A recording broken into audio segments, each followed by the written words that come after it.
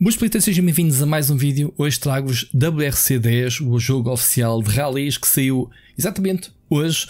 E uh, vamos jogar aqui um bocadinho de gameplay deste nova versão, versão anual que, um, que já estamos habituados a receber. Acabei de instalar, portanto ainda não experimentei. Vamos experimentar aqui em primeira mão. Não, somos intermediários, não somos expert. Um, ehm, e de ano para ano, uh, os estúdios, uh, o estúdio continua um, a afinar, digamos, as mecânicas e a torná-lo cada vez melhor, mas infelizmente vai perder a licença para a Codemasters, como se sabe, em 2023, se não estou em erro, portanto. Devem lançar mais um, um jogo, provavelmente para o próximo ano, até perder então a licença oficial, que vai então saltar para a Electronic Arts, neste caso, que é agora a detentora da uh, Codemasters. Vamos lá aqui ver a resposta. Estou a experimentá-lo já agora, versão PlayStation 5. E posso-vos já dizer que um, por back contact o DualSense está a bombar. Eu estou a sentir a estrada toda, que era aquilo que se esperava nos jogos de condução. Esta perspectiva joga-se bem, por jogo rally não é a minha preferida, gosto muito de jogar na, na primeira pessoa. Mas Excelente sensação condição, sente-se bem, o carro é sensível. Deixa-me ver. Next step. Isto é um treino, basicamente. Ok, isto é mesmo para vocês também sentirem, no vosso caso, graficamente, como é que está o jogo. Bastante interessante, bastante fotorrealístico. Completing diving test, we can recommend right configuration for you. Start stage. Vamos já fazer. Deixa-me ver só se tem mais perspectivas. Primeira pessoa, ok, já começa bem. Eu gosto de jogar esta porque basicamente corre pior. Deixa-me só aqui. Dá para rebobinar? Não. Dá para fazer respawn. Vamos só ver como é que está o jogo dentro do cockpit. Obviamente que estas demonstrações não servem para mostrar skills, né? Mas sim mostrar-vos como é que seria o vosso primeiro contacto com o jogo se calhar não estou noob como o meu, mas seria para vos mostrar tudo aquilo que o jogo tem para oferecer mal uh, corre em jogo depois da instalação. A versão do cockpit também está interessante. Obviamente estou a jogar com o comando, como eu já disse. Há quem jogue e bem estes jogos com, com o volante, que é como deve ser jogado. Esta perspectiva não está nada mal, a, a, a perspectiva externa não costumo atinar muito nos jogos de rally. Começa a comer. Ok. Começa a comer muitos obstáculos. Uau. Gosto muito de. Para vocês terem uma noção, imaginem o que é vocês estarem a conduzir. O que não acontece com os jogos de rally, né? Eh, que estão com as duas mãos no volante. Mas imaginem que estão sempre com uma mão em cima da caixa de velocidades a meter e vocês sentem o arranhar, o arranhar da, das mudanças a entrar. Estou a sentir tudo do comando, até me está a fazer alguma confusão por não estar habituado. Por isso é que estou assim meio distraído e a tendência a olhar, farto-me sentir eh, coisas a escalhar aqui nas mãos. ok, que horror, meu Deus. Olha só, sistema de danos, ok, interessante. Ok.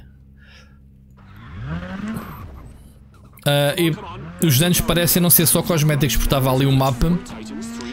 Tanto interessante, já tudo a pendurão. Isto é muito estreitinho para passarmos, caraças. Vamos lá aí.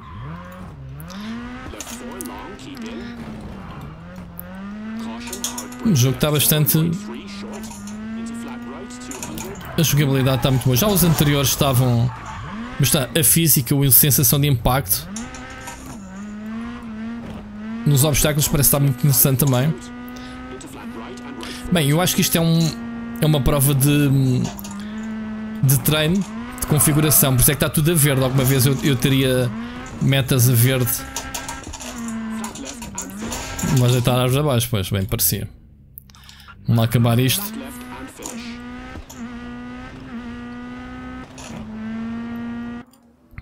Muito bem.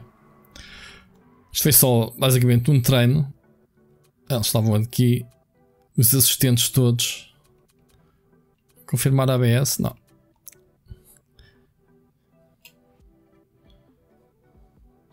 Quero começar nova carreira, sim.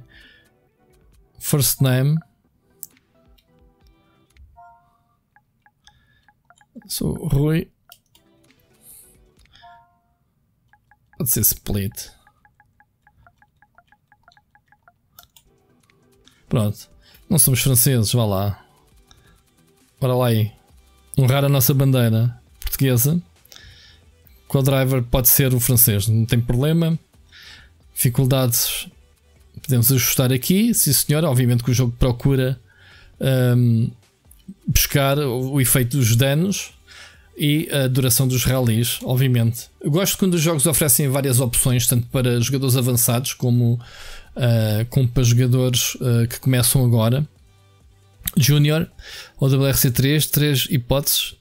Não, não é recomendado para jogadores inexperientes. Ok. Só temos Fords à escolha para já. Ok, qual é as equipas? São todos Ford Fiesta Rally, portanto, tudo igual. Não há aqui diferenças aparentes a não ser o nome da equipa. Portanto, gosto deste carro, siga. Pode ser tutorial. Já o, o, os anteriores tínhamos uma gestão da equipa, uh, tínhamos que, que gerir a nossa equipa no, nos relés. Tínhamos este, este menu, vocês podem procurar no canal, eu fiz vídeo também o ano passado. Ok, vamos dar skip. Pronto, isto basicamente temos uh, todas as áreas da empresa, da gestão da equipa, desde estatísticas uh, à investigação. Olha só, isto é o, o, o formato RPG. Temos pontos já para gastar? Tenho que dar skip. Ok, não sei se já tenho pontos ali, 5 pontos. Não. 5 de 90, mas não é os skill points está a 0. Portanto, é o sistema de RPG para melhorar os atributos. Calendário, Start Event. Vamos, mas é já. Obviamente que isto é só uma perspectiva. Será que não dá? Calendário.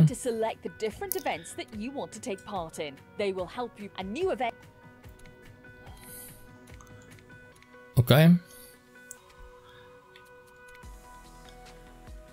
É training outra vez. Pronto, ele não me dá mais nada senão o training. É isso, vamos fazer mais uma corridinha de treino. Vocês podem ver, em termos de evolução de um jogo de um ano para o outro, uh, não há assim grande evolução, digamos assim, em termos de opções, de menus. Isto é a minha primeira perspectiva muito rápida do jogo. Mas não costuma haver um salto muito grande. Vai havendo refinações, que isso obviamente só agora continuando a jogar é que a gente vai. Vamos começar, porque eu acho que. Falsa lá. Não sabia que o carro dava para arrancar logo antes de, da contagem. Agora já é valer, porque agora já. Bem, eu gosto da sensação de peso do carro. Obviamente que ao bocado estávamos com uma bomba maior das mãos. Agora temos um Ford Fiestazinho. Ok. Já está? Terceiro lugar. Muito rápido. Continuar. Ok, dá-me XP, dá-me dinheiro. Essas coisas todas.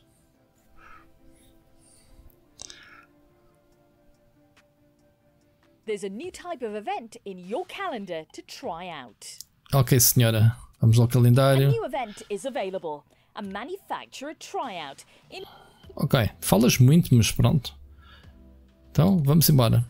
Vamos experimentar. Ok, aqui temos a oportunidade então de, de escolher outros veículos. Parece-me fixe. Uma espécie de show, showcase. Carro alugado. Ok. Interessante. Oi. Eh, espera aí, a gente recomeça. faço, faço alarmes. Portanto, temos. Outra vez. o, o gatilho é muito sensível. Não posso tocar nele. Não gosto de ser bateiro. Bom, estava eu a dizer. Temos aqui uma mudança de cenário para a neve. Um, o objetivo é percorrer o máximo possível de distância dentro do tempo limite. Portanto, isto nem chega a ser um time trial. É tipo, olha, faz o máximo, máximo distância que puderes. Tens um minuto e meio e eu já estou aqui a comer a relva toda, basicamente.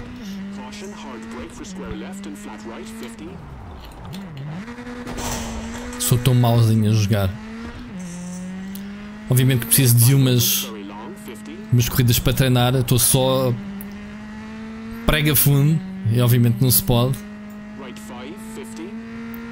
Mas tem uma jogabilidade muito, muito porreira, malta.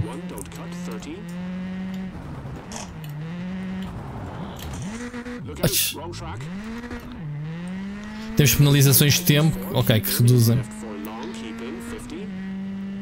Acho que aquela primeira meta já é fixe. Ixi, quer dizer, será? Drifter. Ixi, Jesus. Pronto, mais uma penalização. Conseguimos passar aquela primeira, ao menos? Ok, conseguimos.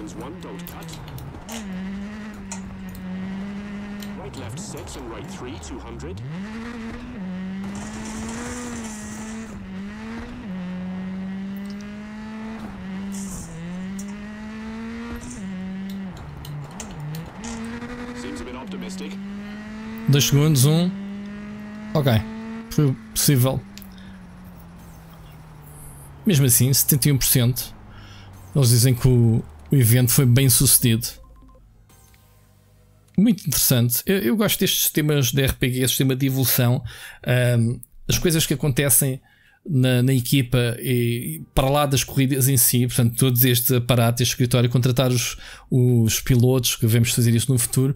Mas enfim, digam nos comentários o que, é que vocês acham, se costumam acompanhar esta série. O jogo acabou de sair, saiu hoje, portanto podem já começar a, a fazer a compra e a descarregar. Digam nos comentários então, deixem um like para apoiar este vídeo e vemos no próximo vídeo. Obrigado por assistirem.